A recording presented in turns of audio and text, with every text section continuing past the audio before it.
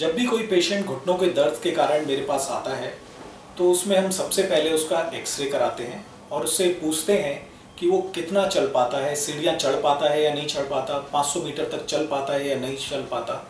तो अगर कोई भी पेशेंट सीढ़ियाँ चढ़ने उतरने में प्रॉब्लम हो रही है, या फिर उसको 100 मीटर भी चलने में, कुछ कदम चलने पे भी दर्द महसूस होता है और वो बिना सहारे के नहीं चल पाता है तो उसका एक्सरे कराना ज़रूरी है। एक्सरे में अगर हमें ये लगता है कि आर्टिकुलर कार्टिलेज कंप्लीट डैमेज हो गया है और बोन सरफेस आपस में रब कर रही है, उस केस में नी रिप्लेसमेंट उसके लिए नेसेसिटी हो जाता है। जैसा कि मैंने बताया कि अगर नी रिप्लेसमेंट अगर हम नहीं करते हैं तो वो डैमेज बढ़ता रहेगा over a period of time और एक ऐसी स्टेज आएगी जब हम बेड रिडन हो जाएँगे। तो वो स्टेज ना आने पाए, जब ये सारी तकलीफ़ें महसूस होती हैं और एक्सरे में हमें लगता है कि आर्टिकुलर सरफेस डैमेज हो गई है और बोन एक दूसरे से रगस खा रही है। So that is the stage उस पर हमें नी रिप्लेसमेंट के बारे में डिसीज़न लेना चाहिए। जिन पेशेंट को डायबिटीज़ है हैवी वेट है, उन लोगों को थोड़ा सा डायबिटीज़ कंट्रोल करना पड़ेगा पहले और थोड़ा सा वेट रिडक्शन करना पड़ेगा, तब जाके नी रिप्लेसमेंट के बारे में हमें सोचना है। मेरे क्लिनिक में जो भी पेशेंट आते हैं, मैं उनसे कहता हूँ, मेरे ये तीन स्टेप्स हैं नी रिप्लेसमेंट के लिए। और हर स्टेप के बाद ही दूसरा स्टेप आएगा।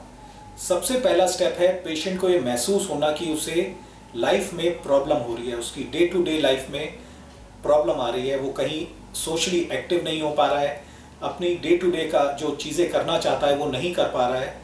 That is the first stage उसका एक, अपने आप एक सेल्फ रिलाइजेशन होना कि मुझे इस नी रिप्लेसमेंट के लिए जाना है, या मुझे एक ट्रीटमेंट चाहिए जिससे मेरा day to day care better हो पाए। या डेली लिविंग अच्छी हो पाए। That is stage one stage two में उसका हम मेडिकल वर्कअप करते हैं। जैसे कि कार्डियक चेकअप एक नी का एक्सरे और कुछ ब्लड टेस्ट और फिर एनेस्थेटिक रिव्यू ये दोनों चीज़ें होने के बाद ये स्टेज टू है। अगर ये स्टेज टू क्लियर हो जाता है, उसके बाद सर्जरी आती है। तो उसमें हम एक दिन पहले एडमिट करते हैं पेशेंट को और फिर नेक्स्ट डे मॉर्निंग में पेशेंट की सर्जरी की जाती है।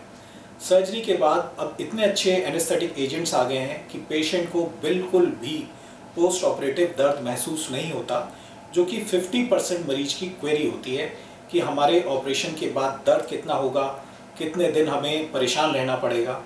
तो आई कैन गारंटी यू कि एनेस्थेटिक एजेंट्स इतने बढ़िया हैं, हमारे पास पेन किलर्स इतने बढ़िया हैं कि डे वन से ही आपको महसूस नहीं होगा कि आपने नी रिप्लेसमेंट कराया है। और सेकेंड डे हम आपकी एक्सरसाइज और वॉकिंग शुरू करा देते हैं। फिफ्थ डे हम डिस्चार्ज करते हैं और पाँचवें दिन जब आप डिस्चार्ज करते हैं, आप अपने टॉयलेट में खुद स्वयं जा रहे होते हैं और कम से कम नहीं तो 50 मीटर अपने आप टहल सकते हैं वॉकर के सपोर्ट से। And over a period of one month with good physiotherapy you can be back to normal social life